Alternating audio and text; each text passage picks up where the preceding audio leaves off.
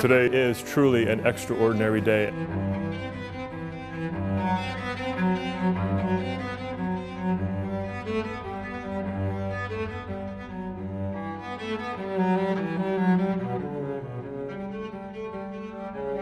We meet somebody and our lives change.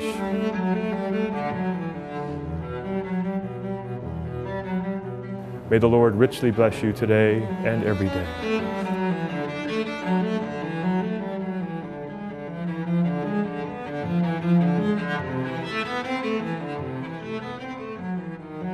You've come together in this church so the Lord may seal and strengthen your love in the presence of the church's minister and this community.